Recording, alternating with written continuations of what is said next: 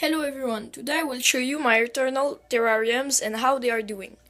This one I've created about 40 days ago, this one about 20, these two about at the same time as this one, and these two little ones I can't remember when. And that's it, I'm gonna tell you how they're going and how they looked at the beginning. First, let's start off with my first terrarium I made.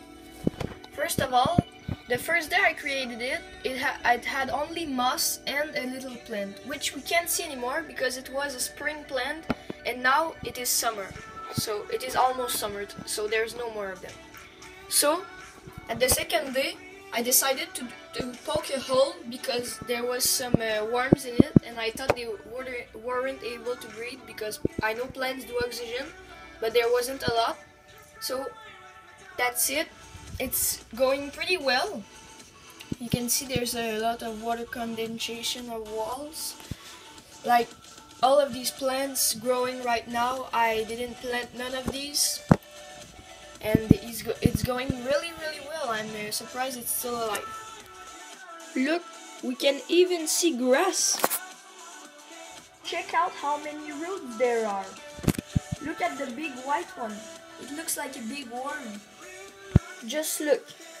There, it was only 5 days into creation. There, it was 30 days into creation. This is how it looks now. Now I'm going to show you how my big terrarium is going. At first, there was nothing. There was only soil and rocks at the bottom for the drainage. And after 5 days, I decided to put a colony of little insects in it. I'm going to show you a picture of the insects because I don't know the name in English. Here you can see the plants keep growing and there's this large, this long plant that is almost going to touch the ceiling. As you can see, we can't see really well because there's a lot of condensation.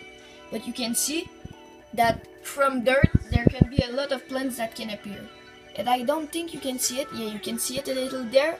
There's a lot of forest moss. If you were wondering, the wood louse's house is the wood. You can see one which is hiding there. This is how it looked at the very beginning. Look how it looks now. Now, let's move on to the smaller terrariums.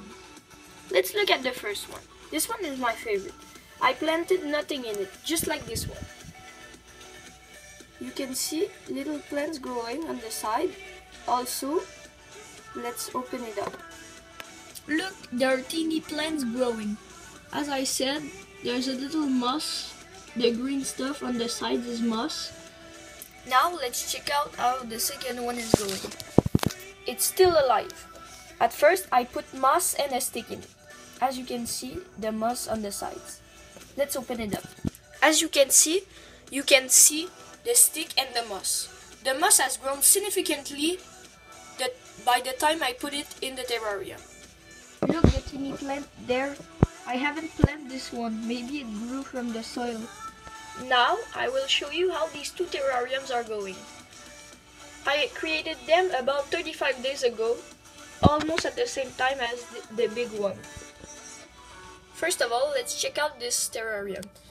I'm surprised that it's still alive. First of all, I put a lot of plants in it, but I can see a lot of them that I haven't planted yet. I planted a little bit of grass and look how big it is.